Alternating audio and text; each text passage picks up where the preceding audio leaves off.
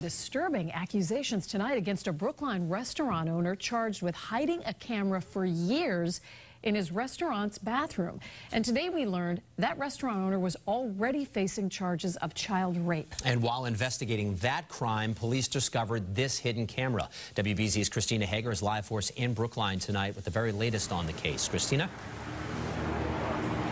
David, these accusations are especially disturbing for the customers who frequent this restaurant. It is a popular spot, and investigators say this has been going on for at least three years. The kosher Chinese restaurant Taam China closed after owner Zay Chung appeared in Brookline District Court facing more than a dozen new counts.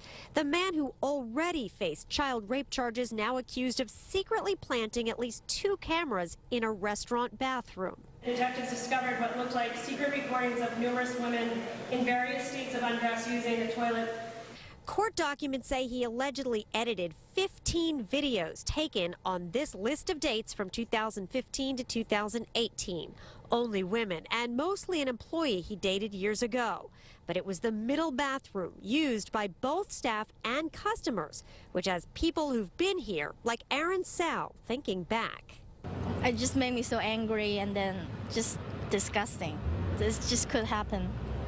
Are yeah. you thinking back to yourself, did I, I go to the yeah, bathroom? That's what I'm thinking. Did I went to the bathroom or I think I did, but I don't know when does that happen. And Police found the videos on Chung's phone and iPad when they were investigating the child rape case that surfaced last month at his home in Weston.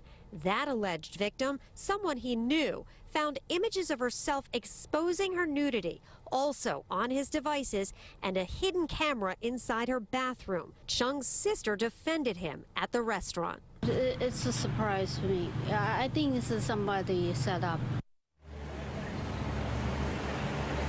Chung's attorney said his family already scraped together all their money to post the $100,000 bail on that previous child rape charge from last month. He's also wearing an electronic monitoring bracelet. In that case, today the judge set bail at $7,500. In Brookline, Christina Hager, WBZ News.